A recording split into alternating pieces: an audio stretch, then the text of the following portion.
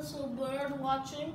Today I'm gonna make a video about two footballs, the, the Adidas Predator and the Nike Aerowtrac. This ball is getting used in the La Liga, so today we're gonna test it out and we're also gonna test the Predator out. So come with me this way. Um, what I'm looking for is not what you like feel and not the one that looks cooler, even though they both look cool. The one that gives you the best grip. So we're just gonna like walk around, do some touches, and like, you know, just do some little touches. And this car is, this, this ball is really comfortable on the pitch, you know. It's really pumped up. And here we have the Adidas Predator.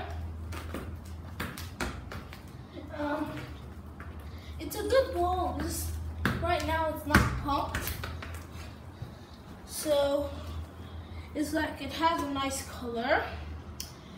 And we'll see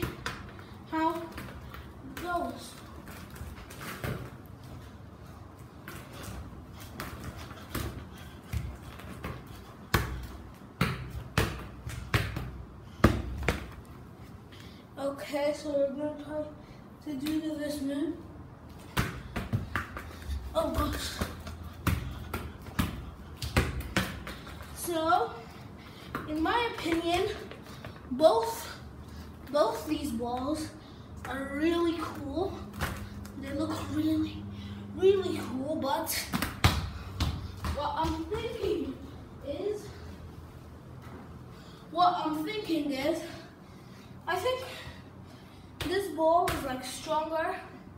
And this ball is like almost like a futsal ball but it's really heavy and this one is like really light.